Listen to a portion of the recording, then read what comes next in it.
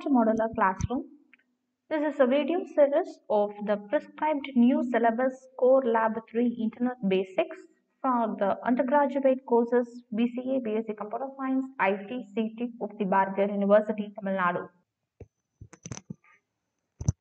The course objectives are to introduce the fundamentals of Internet and the web function, impart knowledge and essential skills necessary to use the Internet and its various components, find, evaluate, and use online information resources, use Google Apps for education effectively. So these are the objectives. So totally there are 18 programs that has been given in the new syllabus. Apart from these 18 programs, three programs are the older one and from the program number 4 to program number 18 or the new prescribed list of practicals. We will see in this video series one by one. So today this video consists of the fourth program to create a meeting using Google Calendar and share the meeting ID to the attendees and to transfer the ownership to the manager once the meeting ID is generated. So the, this program consists of two parts. First, you have to create a meeting using the Google Calendar and you have to share that particular meeting ID to the attendees. The second part is you have to transfer the ownership to the another person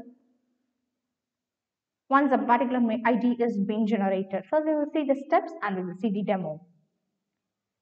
So the two ways you can create a meeting ID. The first, you can directly log into meet.google.com and you can click new meeting and you can choose this option schedule in Google Calendar.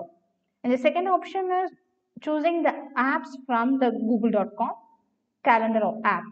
So in these two ways, you can go to this page. This window will gets open in both the options and you can give the title and there is a button called add Google Meet video conferencing. Once you click this Google Meet video conferencing, the button changes to join with Google Meet and the meeting ID is being generated automatically.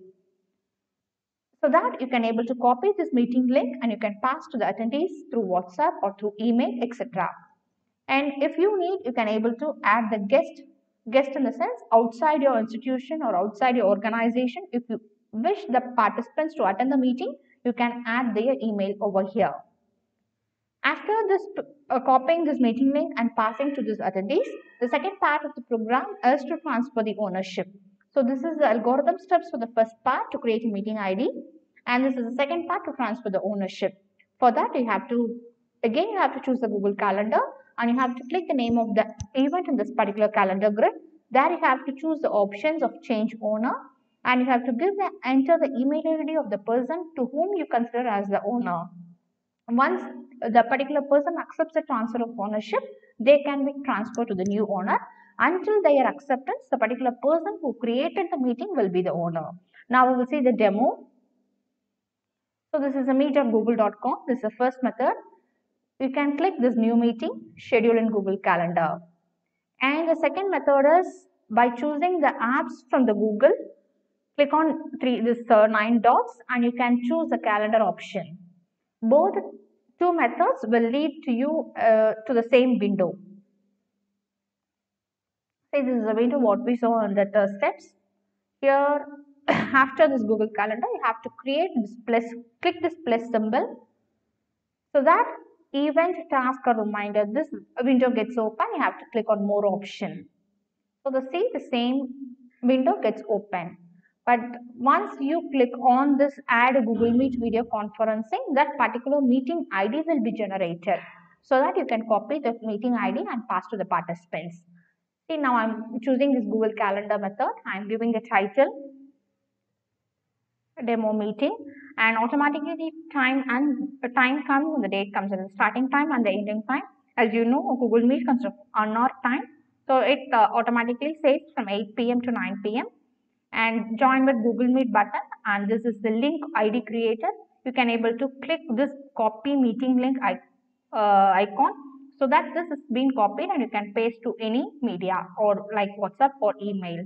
And this is the color that you can able to choose. I am choosing green color. What color? This is optional button. And this is the part where you can able to add the guest. Once you have created and once you have copied this meeting link, you can click on the save button. I have chosen green color. Here the particular meeting ID has been generated. And the second part of the program is you have to transfer the ownership of this meeting. Till now I'm the owner. That is the person who created the meeting ID will be the owner. Now I have to transfer my ownership to another person. If a situation occurs that I cannot able to attend or organize that meeting I can able to transfer my ownership. So I'm clicking this uh, button so that a small window gets open like this. I can click this three dot options change owner. This is option. I can able to type the new owner mail ID I'm choosing like this and I'm clicking change owner. Message sent. So this particular message is sent to that particular person's email.